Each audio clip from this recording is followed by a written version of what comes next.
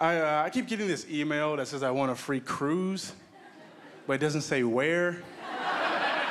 And the email has like all these happy white people and balloons and blue water, and it says destination to be determined. And I'm like, oh, we're not falling for that again, white people. Nobody.